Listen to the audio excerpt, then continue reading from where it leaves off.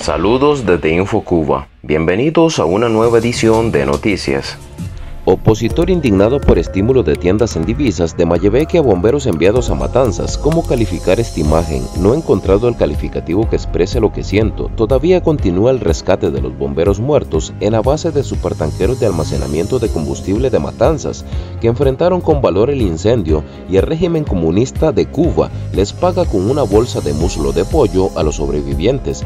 También han sido blanco de críticas por la decisión de enviar al lugar del desastre a jóvenes reclutados del servicio militar, una campaña en redes sociales en la que Moya Costa participa de forma activa, exige al régimen cubano que ponga fin al carácter obligatorio del servicio militar activo.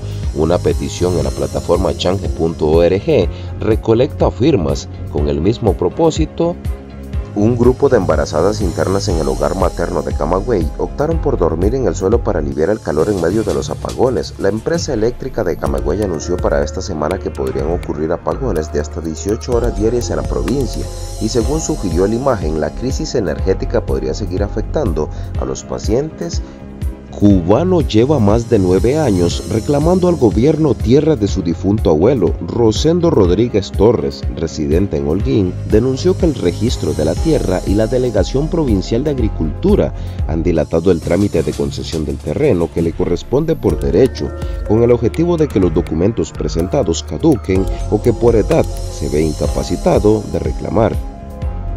Presa política del 11 de julio Angélica Garrido, mantengo y mantendré mi firmeza. La presa política que sufrió hace unos días una parálisis facial denunció que padece de otras secuelas producto del estrés a la que la someten en la cárcel, como decaimiento, dolor constante de cabeza.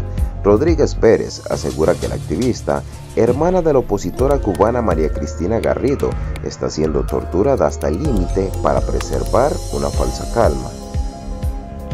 Venden alimentos fermentados en tiendas Cimex en Habana. Un lote de pomos con pasta de bocadillo fermentado se está vendiendo en el centro comercial Citon Boyeros y Camagüey en Habana. Se denunció en su muro de Facebook del periodista oficialista Lázaro Manuel Alonso.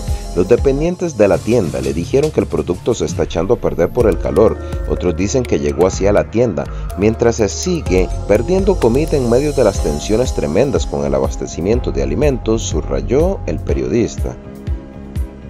Crisis migratoria cubana. 187 balseros llegaron a Cayos de Florida en los últimos dos días. En los últimos dos días, agentes de la patrulla fronteriza en el sector de Miami, junto con el apoyo de socios de LE, respondieron a 10 llegadas de migrantes en los Cayos de Florida y arrestaron a 187 migrantes cubanos, informó este pasado domingo en Twitter el jefe de patrulla fronteriza de Estados Unidos en ese sector.